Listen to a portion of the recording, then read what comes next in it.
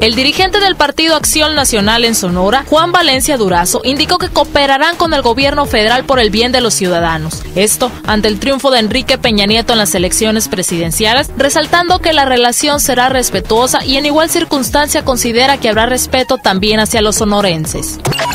Sonora estará fuerte en el Congreso Federal, cinco diputados de mayoría, varios plurinominales, en el caso de Leslie Pantoja de eh, Neblina, son dos, y estamos esperando que entre por ahí otra persona, otro tres, otro, entonces seríamos, serían varios diputados federales sonorenses, tendríamos una fuerte bancada y bueno, pues vamos a, a cooperar con el gobierno federal por el bien de los ciudadanos y en igual circunstancias consideramos que va a haber respeto para el Estado de Sonora.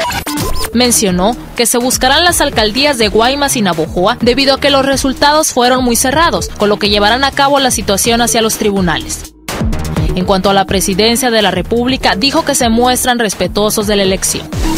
Felicitó a los sonorenses que acudieron a las urnas el día domingo, resaltando que la participación ciudadana en el proceso fue trascendental para la democracia. Pues eh, los eh, datos del PREP y los, y los nuestros, los números que actualmente tenemos nos dan eh, ganancia en 45 municipios del estado de Sonora, en 5 diputaciones federales de las 7 que estuvieron en juego, en 12 diputaciones locales por lo pronto, porque hay otras que todavía no terminan, que están muy pegadas y aún no terminan, terminamos de recabar las actas. Y bueno, pues eh, con estos datos podemos decir que el Partido Acción Nacional en Sonora tuvo un balance positivo.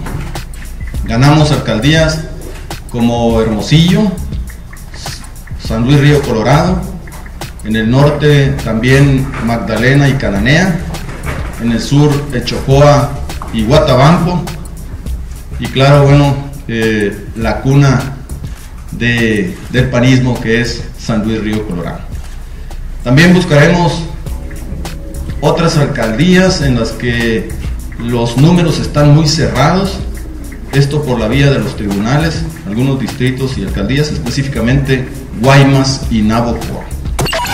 Para Denise Robles.